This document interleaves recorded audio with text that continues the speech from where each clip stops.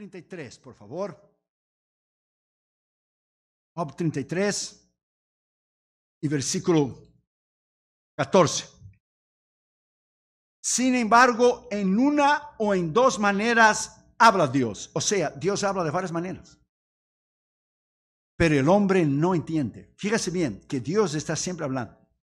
Dios habla por un mensaje, por una canción, por un libro, por un consejo, su palabra, por supuesto, en ayuno, oración. Dios siempre habla, pero el hombre no entiende. Entonces nosotros debemos decir, Dios no me ha hablado. Dios habla, es nosotros que no sabemos oír.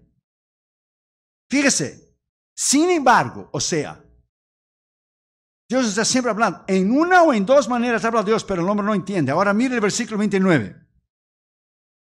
He aquí todas esas cosas hace Dios dos y tres veces con el hombre. O sea, le habla, le habla en la enfermedad, le habla para quitar el nombre de la soberbia, para quitar el nombre del orgullo, le guía en su trabajo, su vida personal, su matrimonio, su casa, su llamado, su ministerio, sus finanzas. Dios habla, pero la gente no quiere oír la voz de Dios.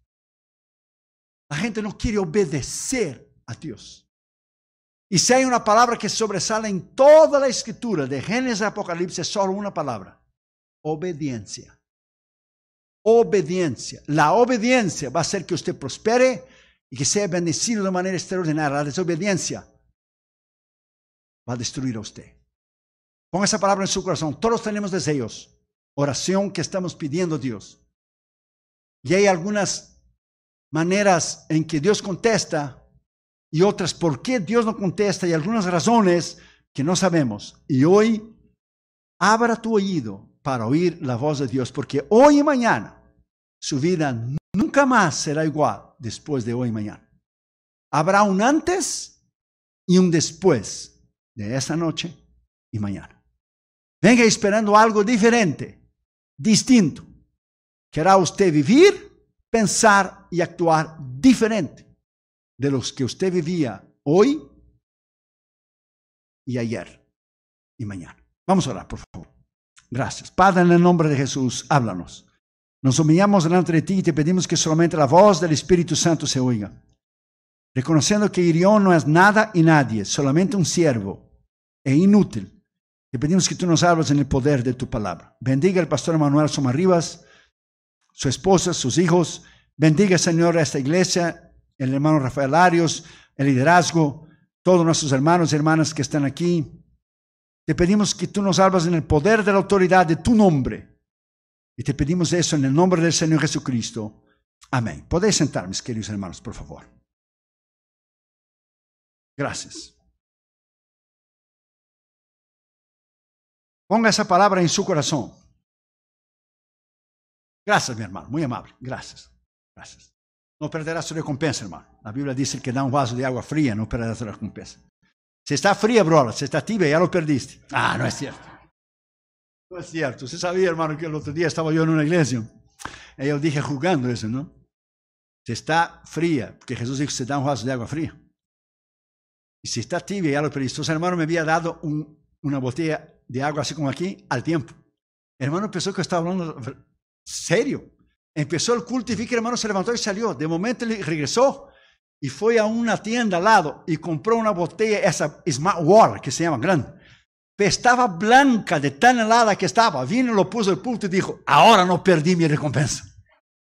Le dije, hermano, yo estaba jugando. Ponga esa palabra en su corazón, hermano. John Wesley dijo una vez,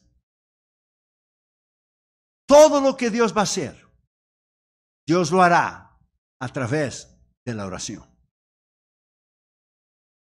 Una vida de oración, una vida de sujeción, una vida de integridad, una vida distinta del cristianismo que vivimos hoy, de lo que me conviene y de lo que no me conviene, porque hoy la iglesia no predica contra el pecado, ni que infierno, ni que diablo. Entonces, si usted vive una vida recta e íntegra, y usted sabe que la Biblia hace una distinción de aquellos que viven una vida tremenda y aquellos que no viven una vida bajo lo que es la obediencia y el poder de Dios. John Wesley dijo bien claro, si Dios va a hacer algo en su vida, usted tiene que dar tiempo para Dios trabajar en tu vida y trabajar en tu corazón. Para Dios contestar tus oraciones.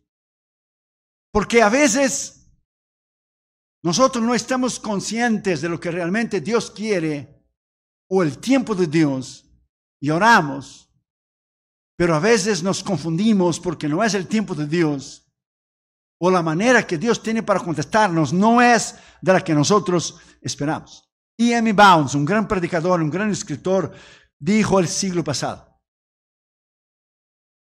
el método del hombre, o sea, la iglesia usa los métodos del hombre, o sea, la iglesia usa hombres, pero Dios usa hombres bajo la unción del poder del Espíritu. O sea, Dios usa hombres extraordinarios. La iglesia, dijo él, está buscando mejores métodos. Dios está buscando mejores hombres. Cuando dice hombres, hombre y mujer, hombres de Dios, mujer de Dios. Ponga esa palabra en su corazón. Dios nunca va a poner en su mano algo que usted no está maduro para tenerlo. Nunca. Por ejemplo, usted daría la llave de su carro que es chiquito a su niño que no alcanza los pedales todavía para él dar la vuelta alrededor de la manzana de la casa suya? No.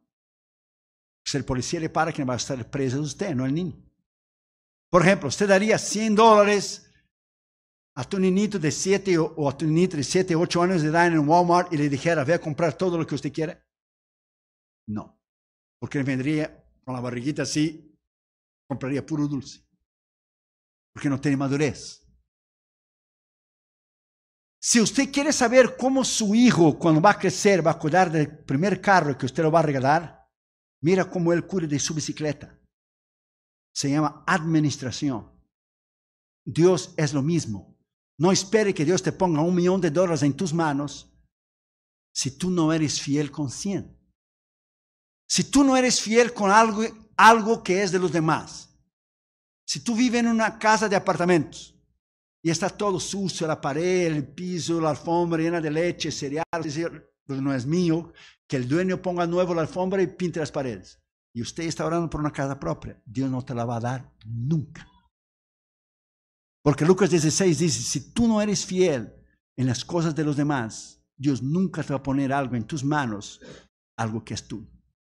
La iglesia tiene este concepto, esa idea, y los predicadores de la fe y de la prosperidad, que Dios te va a prosperar y te va a dar y dar y dar, y no habrá sufrimiento, y no habrá dolor ni enfermedad. Eso es mentira.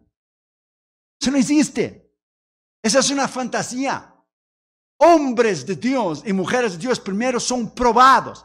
Y si Dios probó a Jesús y lo mandó a Jesús a la cruz, y a Pablo todo lo que sufrió, ¿usted realmente cree que usted va a tener un, un pase gratuitamente por la vida cristiana sin sucederle absolutamente nada?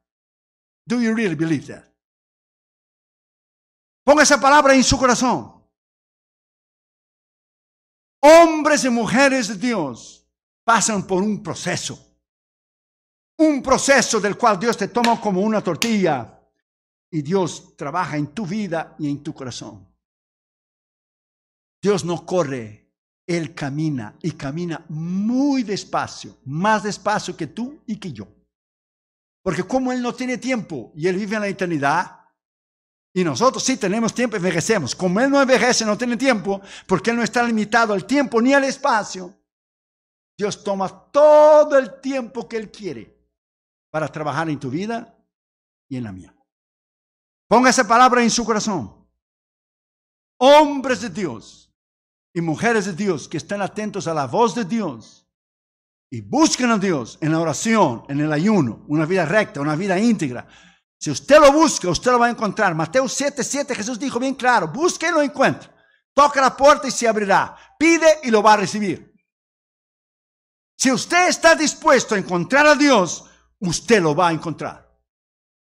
Pero usted tiene que buscarlo. Job dice bien claro que Dios habla de una manera o de otra, o sea, Dios habla de varias maneras, pero el hombre no entiende. Nosotros que vimos viajando alrededor del mundo, tenemos que ser sensibles a la voz de Dios. ¿Dónde es que Dios te quiere? Porque es posible que tú quieras ir a una nación que tú no has ido todavía y tú quieres tener en tu currículo. Es posible que el diablo te quiere matar en algún país y Dios no te quiere que tú vayas ahí porque ya hemos, ya hemos pasado por esa experiencia que el diablo ha querido matarnos en muchos lugares. Es posible que Dios te quiere que tú vayas a una nación, pero tú no quieres ir porque esa nación es peligrosa y te puede matar. Y es posible que es el centro de la voluntad de Dios que usted vaya en el tiempo de Dios, pero usted no quiere ir. Cuando yo fui a Colombia la primera vez en el 2000. Cuando sé que iba a Colombia, los pastores me llamaban y decían, hermano yo no vaya, matan a los pastores allá. La guerrilla mata a los pastores, la guerrilla mata a los pastores y, y no vaya, te lo van a matar. Entonces yo dije Dama, yo necesito orar y ayunar hoy todo el día. Yo no voy a salir del cuarto hasta que Dios me hable si es el tiempo de ir a Colombia o no, porque este año del 2000 era tremendo. Mataron a muchos pastores, muchos ministros. Y Dama dijo, bueno, tú puedes ir a cualquier lugar del mundo que tú quieres, menos dos. No vayas a Cuba y no vayas a Colombia.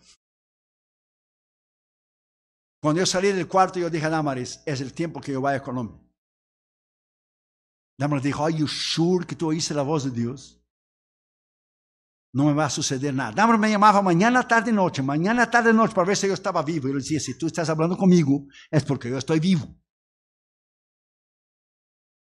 Pero un pastor, un pastor, fue a Bogotá en esos años 2000. Dios le dijo que fuera a Bogotá solo. Estando en Bogotá, Dios lo usó de una manera tremenda. Entonces, un pastor de Medellín le invitó a él, le dijo, venga, te voy a dar una buena ofrenda, te voy a pagar tu avión y tu hotel, te voy a dar una ofrenda. Él no consultó a Dios. Tomó el avión y fue. Cuando llegó a Medellín, se enfermó. Cuando se enfermó, pidió el carro del pastor para ir a la farmacia. La guerrilla tenía el carro del pastor visado. Cuando él pasó en la calle, lo acribillaron a balazo en una ametralladora, pensaron que era el pastor y era el predicador, lo mataron. O sea, Dios no le dijo que él fuera a Medellín, Dios le dijo que fuera a Colombia. Entonces, cuando Dios te dice algo, Dios te va a hablar una vez sola. Como decía mi padre cuando yo era chico, yo te voy a hablar solo una vez. Porque la segunda, y ponía la mano en el cinto, tú ya sabes, ¿verdad? Sí, Señor. Dios solo habla una vez. Y cuando Él te habla una vez, Él te deja sentado. That's. No te lo voy a repetir de vuelta. Tú puedes obedecer o tú puedes desobedecer. Entonces la gente cree que Dios no es algo para tomar a serio. Dios habla que tus decisiones van a tener consecuencias. Pero la gente juega con Dios y después vienen las consecuencias y Dios te dice, te lo dije. Yo te lo avisé.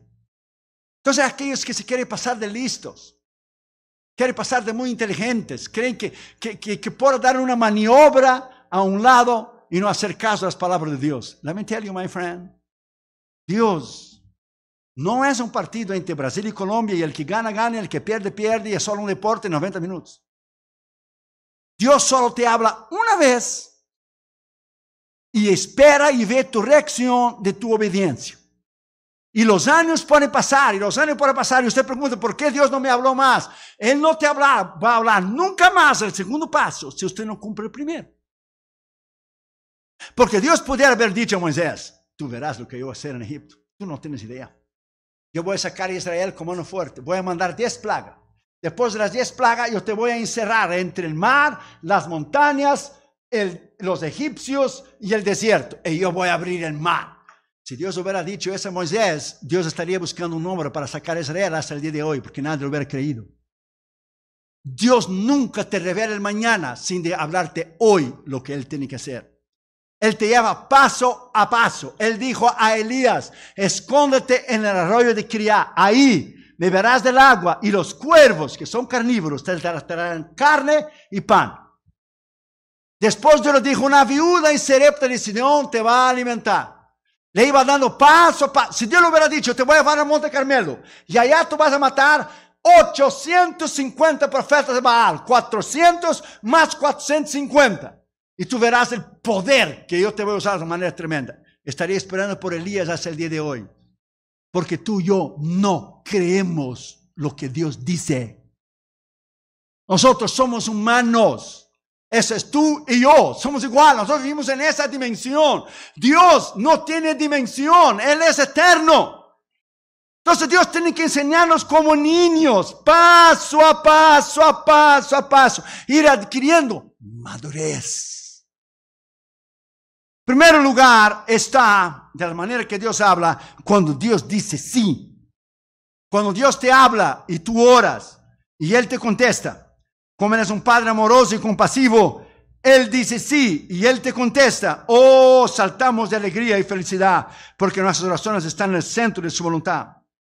Lucas 11, 13 dice, pero si vosotros siendo malos sabéis dar buenas dar a vuestros hijos, cuanto más su Padre Celestial dará el Espíritu Santo al que lo pide. O sea, cuando usted ora y Dios te contesta, lo que usted está pidiendo, era el tiempo de Dios para contestarte, pero ni siempre es así. A veces te va a pasar semana, días, semanas, meses, años y décadas hasta Él te contestar. Y usted tiene dos opciones, usted y yo. O como dicen los mexicanos, te rajan, como dicen los de Jalisco. Cuelga, eh, ¿cómo se dice? Tira la toalla, cuelga el guante del ser. O persevere hasta cuando Dios te habla. Porque si Dios te habló, Él va a esperar hasta que usted madure.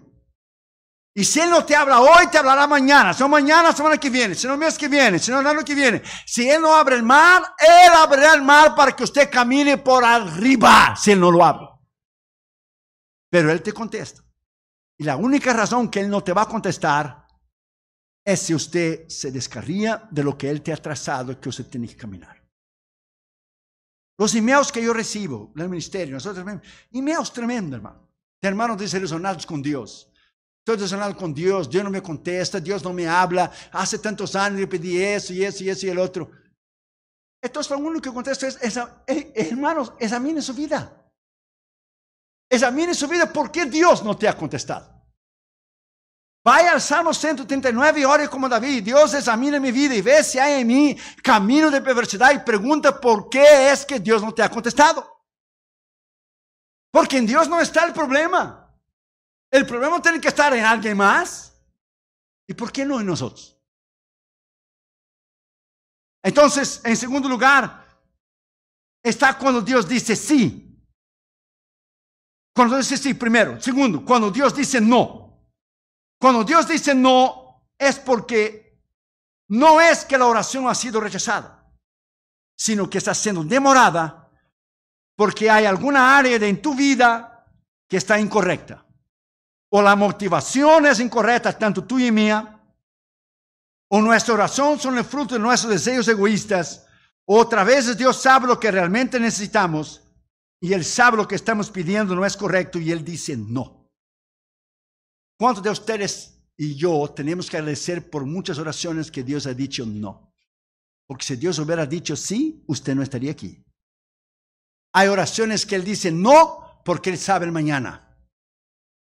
Dios nunca te va a dar algo, ponga esa palabra en su corazón, que, que te va a hacer daño. Él solo te va a dar algo que va a ser de bien para ti. Y si Él no te ha dado algo, es que porque todavía no es el tiempo. Acuérdate cuando éramos jóvenes, cuando mirabas a una chica bonita y decía, esa chica está bonita, me gustaría para mi esposa. Oh, y las chicas, this guy is hot, oh, this guy is cute, look at him, what is that? Y Dios no contesta. Porque Dios te estaba librando de algo que no era el centro de su voluntad. Entonces, cuando Dios te dice no, es porque Él sabe por qué te dice no. Él sabe el mañana, tú y yo no sabemos el mañana. Nosotros sabemos hoy, ahora. Por ejemplo, ¿usted te recuerda del mañana? No, solamente se puede recordar lo que se ha vivido. Por eso Jesús dijo, el Espíritu Santo recordará lo que he dicho. Va a recordar por qué. Porque usted ha leído en la Biblia, porque usted ha oído, porque usted ha estudiado. Dios solo puede recordarte algo de lo que tú has vivido. Él no te va a recordar mañana porque no lo has vivido ni tú ni yo todavía. Entonces, ponga esa palabra en su corazón. Hay veces que Dios te dice no. Y la razón que Él te dice no es porque detrás de su no, Él tiene una razón. Por ejemplo, digamos que usted vive en una intersección muy movimentada. Yo no conozco aquí esta ciudad, pero digamos allá en downtown Los Angeles, entre dos intersecciones. Y tu niño chiquitito, de 7, 8, 9 años de edad, quiere una bicicleta, quiere una bicicleta, quiere una bicicleta. Usted sabe que él va a andar en la acera, cerca de los carros de la intersección, y usted no le da la bicicleta. No le da la bicicleta. Y usted va pasando y pasando y pasando el tiempo y usted no le da la bicicleta, no le da la bicicleta, no te lo voy a dar, no te lo voy a dar. Pero llega un día que usted está hasta aquí y usted le da la bicicleta. Pero al dar la bicicleta, después de un tiempo, viene el policía, le toca la puerta y le da la noticia que un carro le pasó arriba de su niño. ¿Usted cree que Dios va a hacer eso con usted o conmigo? No. Entonces, cuando Él te dice, no, no intentes abrir la puerta porque ella te lo va a caer arriba y te lo va a matar. Experiencia de ministerio. Las puertas que Dios nos ha cerrado alrededor del mundo, que yo pensaba que Dios nos iba a abrir. Después de años, Dios nos enseña por qué es que no nos abrió. ¿Y por qué es que cerró esta puerta y abrió esa puerta? La puerta que yo no quería, Él dijo que sí. Y la puerta que yo quería, Él dijo que no. La mayoría de las veces es así. Dios sabe el motivo. Él sabe la razón por qué dice no. Por ejemplo, la gente nos escribe y dice, tengo un novio, pero no es cristiano. Tengo una novia, pero no es cristiana pudiera orar por mí para saber la voluntad de Dios, usted no tiene ni que orar. Porque Pablo ya dijo bien claro, no os unáis con el yugo desigual. Dijo él que orara para saber. Usted se casa con una diabla, usted va a tener una diabla en la casa. Usted se casa con un diablo, usted va a tener un diablo en la casa. Cuando Dios te dice que no tengas un novio o una novia del mundo, Dios te está librando de un problema tremendo. Porque el engaño del diablo es, se va a convertir. Él se va a convertir o ella se va a convertir. Oh, no. El otro día fui a Valle San Fernando y una mujer llorando vino a la mesa de los casetes y dijo, hermano, usted no se recuerda de mí, pero usted vino aquí muy joven y usted dijo que no tuviéramos novios del mundo. Pues yo desobedecí a Dios y me casé con un hombre del mundo. Hoy me hace la vida de cuadrito, me abusa físicamente, verbalmente, no me deja venir a la iglesia. Lo que usted dijo, señor hermano, usted desobedeció. ¿Qué usted espera? La gente desobedece a Dios y cree que Dios va a poner por arriba su mano. Ah, that's fine. Desobedece lo que yo te digo, yo todavía te lo voy a decir. Eso no existe, hermanos. Cuando Dios te dice que decisiones tienen consecuencias, decisiones tienen consecuencias. Cuando Dios te dice, no lo hagas, porque Él sabe que usted se va a meter en un problema. Cuando mi padre decía, cuando era niño, cuando íbamos a pescar con mis tíos, mis primos y mi hermano, no entres ahí, ese pedazo de agua ahí es hondo. Si entras, te va a hundir y no te lo voy a sacar. ¿Quieres meterte? Métete solo.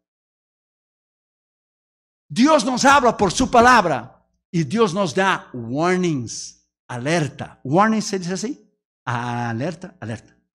Por ejemplo, usted va en un freeway y el freeway está diciendo Central Street a dos millas, Central Street a una mía, Central Street media mía, un cuarto de mía Central Street. Y si te pasa de Central Street es porque tú no viste el sign. Porque el sign te viene avisando de dos millas atrás que el Central Street está a dos millas adelante. La palabra es el warning, es el alerta. No lo hagas. No lo hagas. Don't do it. Don't do it. Hoy, hombres de Dios han perdido todo. Su llamado, su ministerio, su respeto, su esposa, sus hijos, sus credenciales, su unción, los libros que escribieron. Han perdido todo por dormir con una changa que no es su esposa. Yo lo digo changa para jugar con una mujer. Hermano, cuando Dios te dice que el adulterio nunca será borrado, de tu vida. Cuando Dios te dice que la vergüenza y el bochorno nunca se va a borrar, Dios te perdona, te restaura, te da vida eterna, pero la vergüenza que usted va a pasar, nunca más Dios te lo va a usar en el nivel que Dios te ha usado, nunca. Y la gente juega, y la gente juega, y la gente juega, y la gente juega. Usted no tiene idea de los emails que recibimos del ministerio. De divorcios y problemas y hombres que se han metido con otras mujeres y mujeres que se han metido con otros hombres y el peligro de las redes sociales. Por ejemplo, el ministerio tiene Facebook. ¿Usted realmente cree que yo, que no tengo ni tiempo de dormir, yo voy a estar en el Facebook, like, don't like, like, lo que la gente dice o no dice, sus opiniones? ¿Qué me interesa lo que la gente dice o no dice? I don't care. Nosotros tenemos un coordinador de las redes sociales, Instagram y Facebook. Pero el diablo usa el Facebook para la gente conocerse. Oh, fue conmigo a la escuela cuando tenía 15, 16 años atrás. Fue mi noviocito, mi novia. Y empieza para, para allá, y texto va y viene, texto va y viene, texto va y viene. Y cuando va a ver, ¡pa! El diablo te derrumba. Ponga esa palabra en su corazón. El diablo es más inteligente que tú. Más inteligente que yo. Más inteligente que cualquiera. Usted no debe darle brecha, lugar. Porque el diablo sabe cuando usted le da una brecha y, usted le abre la puerta, él va más y más y más. Es como mi padre decía cuando era niño íbamos a pescar. Cuando el pescado morder el anzuelo, y tragar el anzuelo con la carnada, no lo saque del agua inmediatamente. Deja de disfrutar un poco de la carnada, porque cuanto más él muerde, más el anzuelo le va a la garganta. Cuando tú le das un poco más que le guste y le guste el pedazo de carne que pusiste ahí, entonces tranca la línea y sácalo, porque ya está hacia abajo ya de su garganta. Pon esa palabra en su corazón. El diablo no está jugando con usted. Él quiere verte un big zero, un gran cero. Perder todo, estar enfermo, en la calle, sin familia, mendigando. El diablo te quiere destruir. El diablo ha derrumbado a los hombres de Dios más grandes que usted pueda tener idea. ¿Usted cree que tú y yo somos de hierro o somos inmunes? ¿Usted realmente cree que nosotros podemos jugar con el pecado y decir, yo estoy inmune, yo puedo pasar esta prueba? Oh, la tentación no me va a agarrar a mí. Oh, come on. Usted no es de hierro. Aquí no hay nadie que pueda decir que es inmune de algo. Cada uno tiene un área que el diablo sabe tu área de debilidad sea palabra, sea, sea, sea comportamiento, sea finanzas, sea sexual, sea, sea hablar de tu pastor. Cada uno tiene un área que el diablo sabe muy bien cómo atraparte a ti. Si no supiera, no fuera diablo. Si no supiera, no tuviera siete billones de personas en sus manos. Bueno, seis, porque hay un billón de cristianos y medio. He's smart. Entonces ponga esa palabra en su corazón. Cuando Dios te dice no, porque Dios te está librando de algo serio. Cuando Dios te dice no y no responde rápido, no es que no te quiere. Cuando Él demora es porque Él está trabajando en tu vida, porque no tiene madurez para darte todavía lo que usted está pidiendo. Primero Juan 5:14 dice, esa es la voluntad que tenemos, confianza que tenemos en Él, que si pedimos alguna cosa conforme a su voluntad, Él nos oye. Y sabemos que Él nos oye cualquier cosa que pidamos, si está de acuerdo a su voluntad. Así, cuando Dios no te contesta, Dios te pregunta, interprete mi silencio, ¿por qué no te he contestado? Si tú has orado y no te he contestado y hace mucho tiempo, una de las dos, te estoy probando y arreglando tu carácter o no te voy a contestar nunca. Porque no es el centro de mi voluntad. Entonces nosotros tenemos que aprender a madurar. Tenemos que aprender a crecer. Dios nunca va a poner una carga sobre tu vida más de aquella que tú puedes soportar.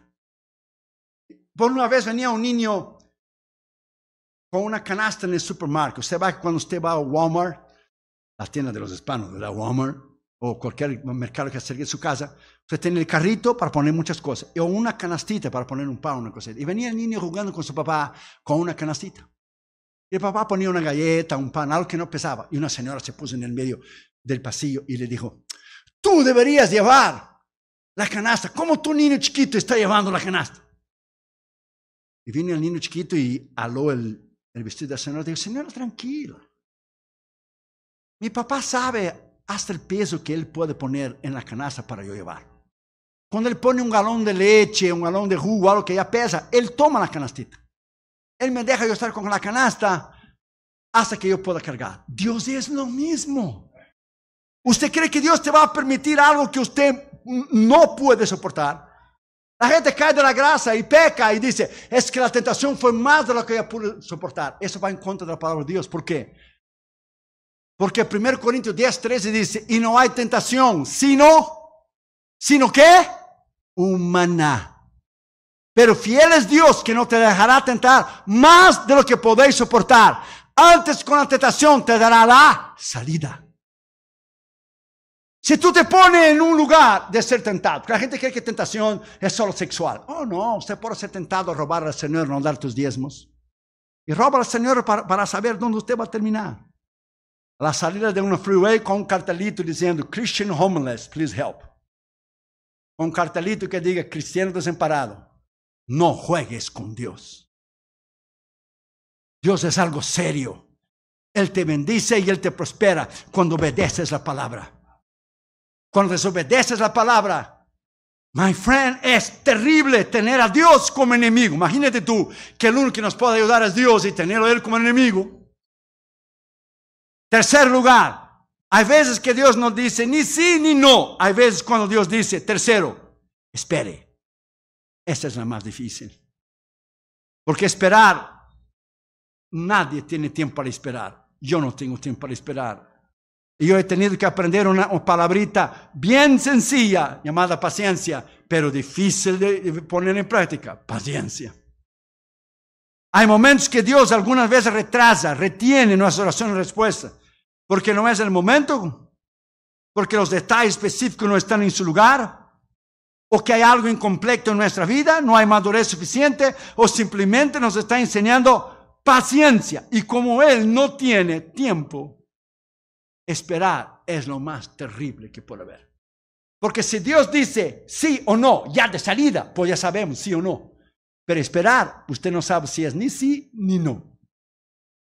Ahí Dios te madura y en el proceso Él te madura. ¿Por qué usted cree que Isaías dice bien claro, los que esperan en Jehová renovarán sus fuerzas? Porque en la espera, en el desierto de la espera es donde Él te madura.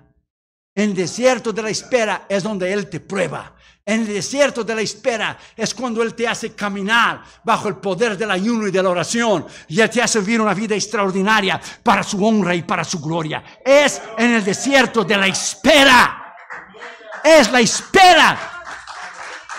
Ella moldea tu carácter. Ella moldea tu personalidad. Es la espera. Cuando yo era residente aquí en Estados Unidos hace muchos años, Dama me decía, hazte ciudadano, hazte ciudadano. No tengo tiempo, no tengo tiempo. Viajo mucho, hazte ciudadano porque va a llegar un tiempo que ya no lo van a hacer más ciudadanos aquí. Y va a llegar un tiempo, va a ser difícil, difícil, difícil, difícil hacerse. Y mira cómo estamos ahora. Hace muchos años, muchísimos años. Yo decía, no tengo tiempo, no tengo tiempo, no tengo tiempo. Y un día limpiando el closet de la casa, encontré un periódico La Opinión. Y cuando encontré un periódico de opinión viejo, cuando lo saqué el periódico, decía en la primera plana así rojo, hazte ciudadano ahora. Pues Dios me habló por el periódico de opinión, ya que no hacía caso a Damaret. Bueno, apliqué, pasé por todas las preguntas. el que estaba haciendo las preguntas dijo, ¿usted me puede ayudar en los exámenes de aquí de, de, que la gente haga para la, la ciudadanía? Preguntita de que George Washington y, y, y esto y el otro. Bueno, aquel tiempo se demoraba cinco a seis meses para venir la ciudadanía, para tu ir a la cita y después de la cita jurar la bandera. Aquel tiempo.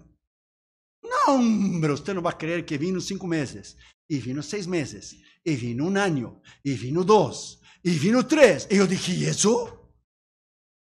Pasaba yo delante de la migración en Downtown Los Ángeles.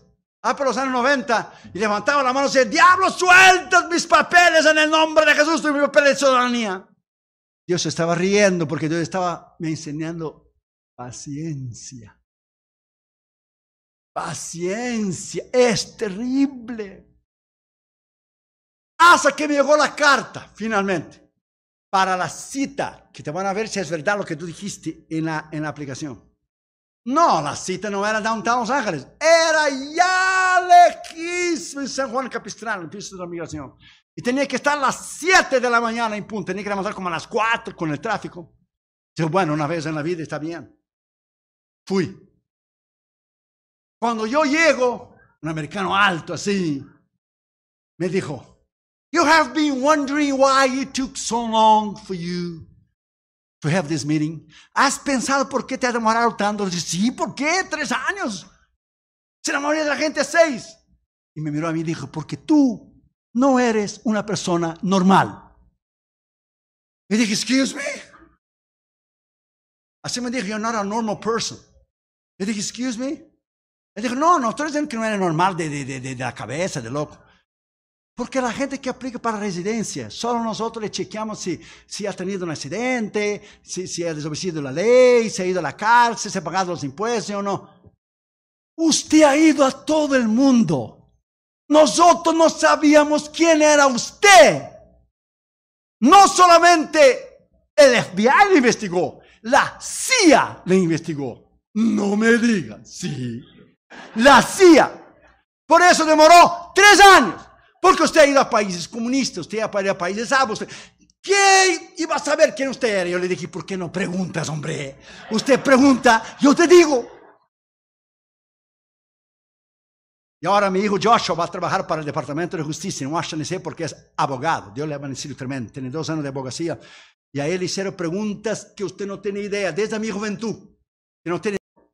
Y la puso arriba de la mesa y dijo, That is you. Esto eres tú. ¿Qué es esto? Es, son todos los países que tenemos investigado y todos los archivos. La hora que llegaste, lo que saliste, lo que dijiste, donde cada hombre, por eso me lo te ¿Por qué no me dijiste? Yo te hubiera contestado todo esto en horas. Cuando entro en el carro y vengo a la casa, Damos dijo, ya ves, tres años de espera. Y tú que no esperas para nada. Dios te tuvo tres años en espera. Déjame decirte a ti, my friend que Jesús, siendo Dios, tuvo que esperar 30 años para empezar su ministerio. 30 años de preparación para tres de ministerio. Jesús, que fue Jesús, tuvo que orar y orar 40 días para vencer el diablo como hombre en su cara, no como Dios. ¿Usted cree que usted va a vencer sin orar y orar? Do you really believe? ¿Usted realmente cree que usted va a vivir una vida espiritual en victoria, en poder y en autoridad si usted no ora y si usted no ayuna? Do you really believe? ¿Usted realmente cree que solo con los cultos del domingo de la iglesia suya es suficiente para una semana entera sostener usted en la fe? No lo es. Usted tiene que tener una vida espiritual diaria, leer la palabra diaria, Orar diariamente. ¿Cuántas veces usted come al día? Tres. Otros cuatro, cinco. Los americanos tienen una hora de culto el domingo. Si yo fuera Dios, yo le diera una hora de aire por semana, a ver si sobrevive. Just one hour for you. Ya que me busque solo el domingo una hora, le voy a dar una hora para que respire. Si usted come, usted y yo, por lo menos tres veces al día, ¿Cuánto no debemos comer de la palabra para madurar? Comer de la palabra para crecer. Comer de la palabra y doblar nuestras rodillas delante de Dios y decir, Señor, yo no puedo hacerla sin ti. Por eso el diablo está derrumbando un montón de ministros, un montón de cristianos, un montón de falsa doctrina, un montón de predicadores por las redes sociales, uno don Juan de los Palotes que salió mañana que ni se sabe quién es y que ni doctrina tiene. Y la gente se va por miles a oír a esta gente que no tiene doctrina porque la gente no lee, porque la gente no estudia, porque cristianos son inmaduros, porque cristianos, como dice Damaris, tú te matas en los aviones escribiendo tus libros y la gente no lee ni la Biblia. ¿Cómo va a leer tus libros, Josué?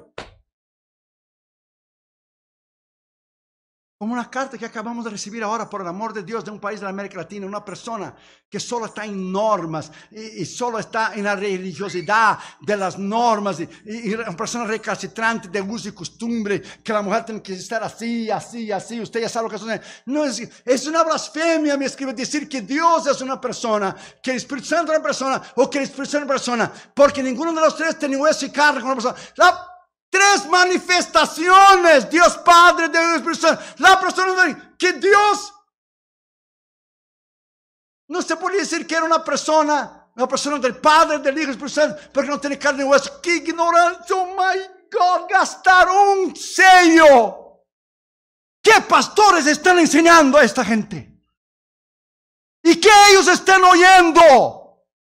Cristianos que nos preguntan, cuando la persona muere, ¿para dónde va? El cuerpo a la tumba y el alma el espíritu. Cristianos de años no saben las doctrinas básicas de la Biblia, del arrebatamiento, de la santidad, de la oración, del ayuno. Antes se predicaba doctrina. Antes la iglesia era madura. Hoy es solo shows, conciertos. Uno don Juan del Palote que solo hacen gritar, saltar. No tiene nada. La gente no tiene madurez. Por eso el diablo los tumba. Porque la gente no tiene base en la escritura. Porque el diablo, que es el diablo, no habló de él cuando tentó a Jesús. El diablo citó la Biblia, está escrito. Porque él sabe que en él no hay poder contra Jesús. El diablo mismo dijo, está escrito. Y Jesús dijo, también está escrito. Porque es la palabra que tiene poder. Es ahí donde usted quiere madurez. Cuarto, ya vamos a terminar. Cuando Dios no dice ni sí, ni no, ni espere. Cuarto, cuando Él te dice, te daré algo, te daré algo diferente de lo que tú has pedido, te daré algo mejor. A veces cuando oramos estamos convencidos de lo que estamos pidiendo es lo correcto, lo que queremos. Dios muchas veces tiene algo mejor, diferente. En su sabiduría, omnisciencia, Él sabe lo que te corresponde y la forma mejor, irá a saltar de alegría cuando Él te da, te da lo mejor, porque Efesios 3:20 dice que es poderoso para hacer las cosas mucho más abundantes de lo que pedimos o entendemos. En otras palabras, Dios te va a dar el zapato del tamaño de tu pie. Dios me dio a Damaris, una mujer extraordinaria. Esta Damaris es una mujer de Dios tremenda. Creció bajo el comunismo. Su padre fue un gran hombre de Dios. Dios me dio exactamente exactamente lo que yo necesitaba. Una mujer madura, una mujer espiritual tremenda, una mujer sabia, una mujer tremenda, porque Dios sabía el ministerio que íbamos a tener. Entonces, gracias a Dios que muchas veces en el pasado Dios dijo no, no, y no, y no, y no, no es esta chica, ni la otra, ni la otra, ni la otra. ¿Por qué? Porque Dios sabe el mañana. ¿Y quién somos nosotros para discutir con Dios y enseñarle a Él lo que es lo mejor o no? Yo acabo de escribir el libro de Job, un libro profundo, profundísimo, profundísimo. Quiero llevar una pregunta teológica para usted. Si Dios es bueno, del cual es bueno, ¿verdad que sí? Si Dios es todopoderoso, ¿eso no es? Sí. Ok, aquí le va una pregunta teológica. Si Dios es bueno, ¿por qué le permite el mal? ¿Por qué le permite el sufrimiento? Entonces, Él es bueno, sí es bueno, pero no tiene todo el poder, no es omnipotente, porque quisiera prevenir el mal, el sufrimiento y no puede. Del cual no es cierto, aquí le va otra. Dios sí tiene el poder para prevenir el mal, el sufrimiento, la enfermedad. Tiene el poder, pero no quiere. Entonces Él tiene todo el poder, pero no es bueno. Ahora Dios tiene todo el poder y quiere. Él es todopoderoso y es bueno. Pero no previene el sufrimiento, eh, la enfermedad y las guerras y el dolor y el hambre.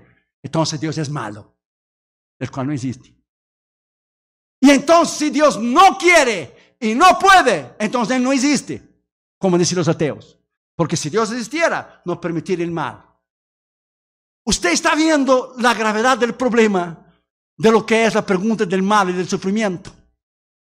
Que va más allá de lo que una mente común y corriente un cristiano puede pensar. Dios es bueno, entonces pasamos por todos los problemas. Dios es bueno, pero Él permite el mal, Él permite el sufrimiento, Él permite el hambre, Él permite la guerra. ¿Y quién tiene la respuesta? Solo Él tiene y Él no te dice ni a ti ni a mí, porque Él permite.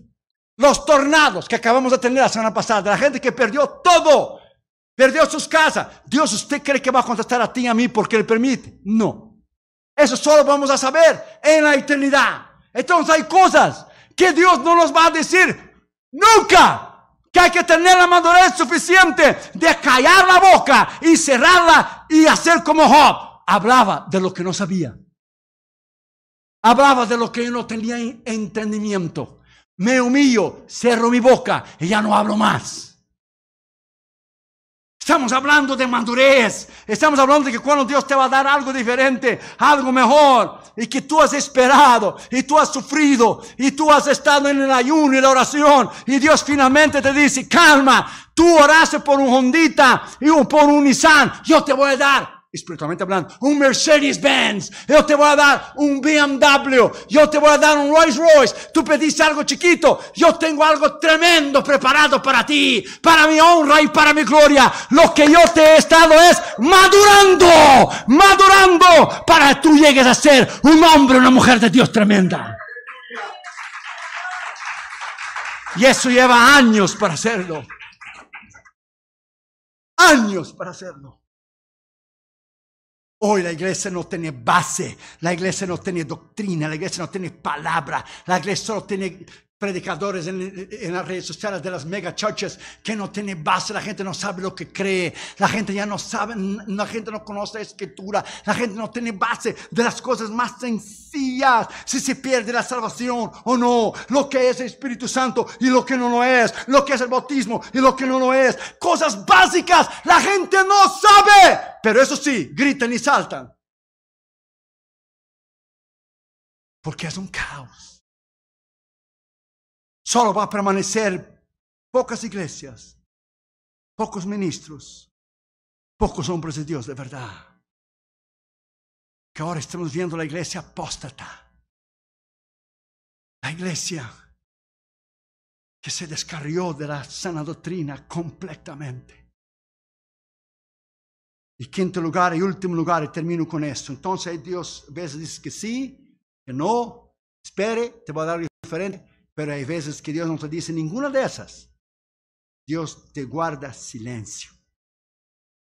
Y cuando Dios guarda silencio, aquí reside el gran problema de usted querer contestar su propia oración por causa de la impaciencia.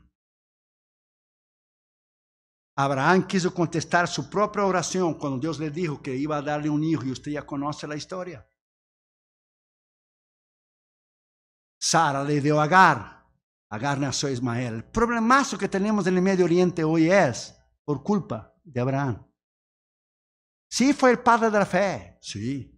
Pero si él hubiera sabido que el jueguito ese con la esclava Agar iba a tener el problemazo que tenemos hoy en día de los musulmanes, no hubiera hecho. Un momento de impaciencia, bueno, no un momento, 24 años. Él ya tenía 100 y Sara tenía 90. Y Sara tenía 90 y era estéril y ya ni ovulaba más. Pero por su impaciencia de haber esperado un poco más, Dios le dijo, él oyó la voz de Dios, que muy poca gente oye, te lo voy a dar un hijo. Isaac, solo espera su impaciencia, el problemazo que tenemos hoy en día. Si es el padre de la fe, si le fue un problema, si fue un hombre de Dios, sí, sí, ese no es el problema. El problema es que él quiso contestar su propia oración. Y cuando nosotros queremos contestar nuestra propia oración, vamos a tener serios problemas. Porque cuando Dios no te habla, haz como Israel hacía en el Antiguo Testamento. Cuando la nube se movía, Israel se movía. Cuando la columna del fuego se movía, Israel se movía. La nube durante el día y la columna de fuego durante la noche. ¿Quién era la nube y quién era la columna de fuego? Jesús. Se llama Epifanía cuando Jesús aparecía en el Antiguo Testamento. Apareció un montón de veces. Apareció a Abraham. Apareció a Jacob, porque el ángel que luchaba contra Jacob no era nada más ni menos que el Señor Jesucristo. Que el ángel no te puede bendecir. No te dejaré antes que me bendiga. Quien lo bendijo fue Jesús. Apareció a Josué. ¿Quién eres? Soy el jefe del ejército del Señor, el capitán del ejército. Josué se inclinó delante de él y él no le dijo, no me adores. Apareció al padre y la madre de Sansón. Empezó que era un ángel y dijo, ¿tú cómo te llamas? ¿Por qué pregunta mi nombre? Mi nombre es más allá del entendimiento, es beyond understanding. Era Jesús. Cuando Jesús apareció en el Antiguo Testamento. El problema es cuando nosotros no tenemos suficiente madurez para esperar y esperar, nosotros queremos contestar nuestra propia oración. Como alguien nos escribió el otro día un email. ¿Por qué es? me escribió los hijos que su mamá había ido a Guatemala y ahora no podía regresar a Estados Unidos porque hacía muchos años que echaba de menos la familia y los hijos que estaban allá. Ya iba a dar la residencia, pero su impaciencia quiso salir y pensó que podía regresar. Sabía que no podía regresar. Y cuando regresar, fue a regresar, dijeron, no, usted desobedeció, usted no debería salir, debería esperar. Entonces la gente hace la equivocación y culpa a Dios. La gente hace el problema y culpa a Dios. Dios dice, ¿y yo qué hice? ¿Por qué? Por la madurez de no esperar. Cuando nosotros no esperamos, este es el problema. Habacuc 1.2 dice, ¿hasta cuándo Jehová clamaré y daré voces y tú no oirás? No, no, no es que Dios no oye. Es que Dios está guardando silencio por sabrá la razón que Él tiene y de que Él no ha contestado todavía. Hermanos, ponga esa palabra en su corazón. Ese libro de Job que yo acabo, de escribir es tan profundo. Porque es un nivel filosófico, los secularistas y los ateos que no creen en Dios, está basado en la teología, porque la palabra de Dios, y todos tenemos luchas, problemas y necesidades. Va a salir más tarde en este año. Ese libro es tan profundo que Job discutió con Dios, discutió y discutió con sus tres amigos y acusó a Dios y culpó a Dios y se disculpó y es, y es, y es, y es, y es, y es. Y Dios le dio un show a Job al final del libro. Y Dios nunca le contestó a él por qué la razón de su sufrimiento. Dios no le dijo nunca. Porque Dios no tiene por qué contestarte ni a ti ni a mí. Lee ahí en tu Biblia el versículo 13. Lee ahí, por favor. El versículo 13 de Job 33. ¿Qué dice el versículo 13 de Job 33? A ver si el hermano Laro me lo pone ahí en la pantalla. Porque él no tiene por qué dar razones de sus decisiones. O no tiene por qué dar razones de lo que él hace. Job 33 13. Porque Él no tiene por qué dar razón. O sea, Dios no tiene por qué contestarte ni a ti. Ahí está. ¿Por qué contiendes contra Él? Porque Él no da cuenta de ninguna de sus razones. Next time que tú pelear con Dios, solo pienses que tú y yo no somos absolutamente nada. Nadie una ilustración. Usted va al gobernador de California a reclamar porque San Francisco está inundado de indigente. Y usted va al gobernador a reclamar que Los Ángeles, el downtown, es una sociedad terrible. Más, usted va a la Casa Blanca allá a discutir con Trump si él está correcto o no. Intenta entrar allá en la Casa Blanca lo que le va a suceder. Ahora piense Dios. ¿Usted cree que Dios tiene obligación de contestar a los ateos secularistas, a ti y a mí, porque no entendemos lo que Él decide. ¿Dónde manda marinero? De lo contrario, donde manda capitán, no manda marinero. Ponga esa palabra en su corazón. Dios es Dios, nosotros no somos. Dios es tremendo. Dios es más allá de nuestro entendimiento. Tú y yo estamos de pie aquí hoy porque Él nos dio fuerza para pararnos de la cama por la mañana. Porque muchos de la madrugada, de la mañana murieron, pero Él decidió que tú y yo viviéramos hoy. Él es misericordioso, Él es bueno, Él es todopoderoso. A Él la honra, a Él la gloria, a Él la alabanza. Sea su nombre exaltado para siempre. Así que cuando Dios te lleva por un proceso, todo lo que tú tienes que hacer es soportar el proceso. Porque si no soportas el proceso, Él buscará otro y pondrá en tu lugar. Y buscará otro y pondrá en mi lugar. Porque aquí no hay nada insustituible. Ni tú, ni yo. Billy Graham murió. ¿No que murió? ¿Se terminó la obra de Dios porque Él murió? ¿Se terminó los evangelistas porque Él murió? Didi Ávila murió. ¿Se terminó la iglesia porque Él murió? Oro Robert murió. Terry Osborne murió. David Wilkerson murió. Murieron grandes hombres de Dios. ¿La obra de Dios paró? No. Y no va a parar nunca. Porque Dios es Dios. Muere uno hoy, Dios levanta otro mañana. Cae uno de la gracia hoy, Dios levanta otro pasado mañana. Aquí no hay nada insustituible. Somos siervos. Y estamos para obedecer lo que Él dice. Y esto requiere madurez, requiere madurez de años de caminar delante de Él. Por experiencia te digo, ¿eh? Ahora sí termino, créeme. Por experiencia te digo, no discutes con Dios porque va a perder. Vas a perder. Cuando el policía te para en la calle, ¿tú lo discutes con él? ¿Verdad que usted se calla bien calladito? Usted y yo. Y yo tengo la licencia mía. Detrás tengo la, la credencial de las asambleas de Dios del ministro ordenado. Cuando me para un policía, le saco los dos juntos. Y oro para que sea cristiano. Que el último ticket que yo llevé hace 32 años atrás. El otro día me paró un policía y cuando vio la placa del carro, MK Jesus, ¿Y quiere decir MK Jesus? Me dijo. Yo le dije, Mighty King Jesus. Me dio de vuelta la licencia y la credencial le dijo, Have a great day. Thank you. Si tú no discutes con un policía, porque él te puede poner las esposas y estar delante de un juez el next day y te pasa a pasar el día y la noche allá en el calabozo, como decía Cantinflas, mételo para adentro. y preguntas a mi hijo que es abogado, cómo la gente se siente delante de un juez cuando él se siente y toma el martillito en la mano. Él tiene el poder para hundirte a ti y a mí por años en una cárcel, en una palabra sola.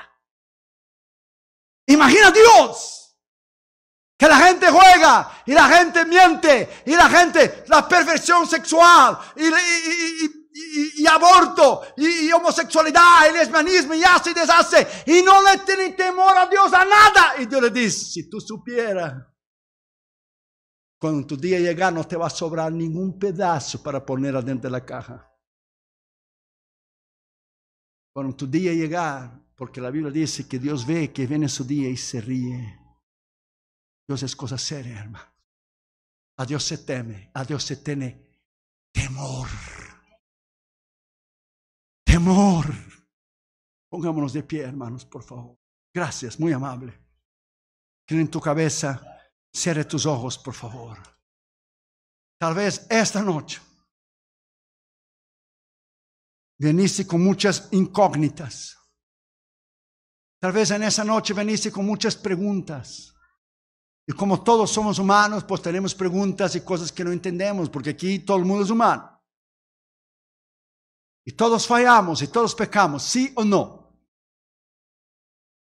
Todos somos humanos. Y cuando usted no entender a Dios, no te sientas mal. Bienvenido al club. Y cuando usted se sienta que no puede más y te sientas morir, no te sientas mal. Bienvenido al club. Moisés quiso morir. ¿Por qué me diste este pueblo? ¿Acaso yo los concebí? Está en números 11.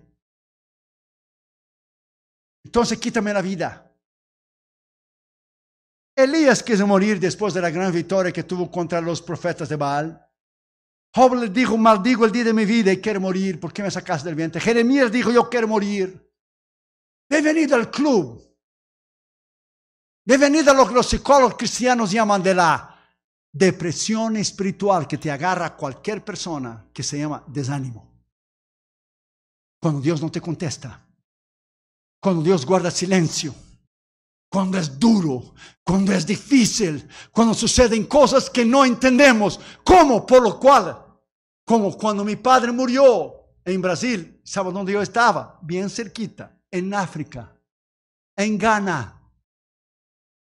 Y yo discutí con Dios y dije, tú no pudieras haberme dado dos días para terminar la campaña y yo llegar al funeral de mi padre. Porque él tenía que morir cuando yo no esté. Yo no te he servido toda la vida. Si tú me hubieras dado dos días, hubiera terminado la campaña, regresado con Damaris Catherine Jr. a Estados Unidos y de ahí tomando el avión a Brasil. Y peleé con Dios. ¿Y tú crees que Dios me contestó? Todavía estoy esperando. Y desde el 2001 le pregunto y tú dices, ¿qué esperando? Dios no tiene razón de por qué contestarte a ti y a mí nada. Yo dije a Dios que te sientes solo ahí arriba, que tienes que llevar al viejo. ¿Cómo me haces esto?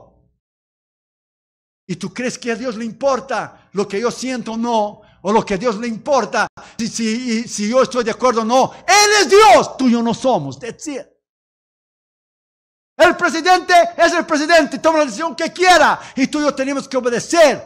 Y decir, se llama autoridad. Madurez. Madurez lleva años para adquirirlo. Lleva muchos años. Te lo digo por experiencia, no lo vas a conseguir en un culto. No. Madurez es cuando preguntamos a Dios por qué mataron a este hombre de Dios que tanto se necesita este médico en el Medio Oriente y en el Líbano, ¿por qué lo acaban de matar? ¿Por qué queman vivos los cristianos ahora en India? ¿Cómo no es que tú no le guardas, tú no guardas tu pueblo? ¿Cómo es posible que estamos en necesidad de ministros y son muertos cada día? ¿Se sabe cuántos mártires hay cada día que mueren por Cristo? Once por día. Si Jesús se para del trono, como en el caso de Esteban, que se paró para recibirlo, porque cada Marte que muere, según los teólogos, él se para del trono, entonces en cada dos horas más o menos Jesús se para del trono para recibir un mártir que muere por él.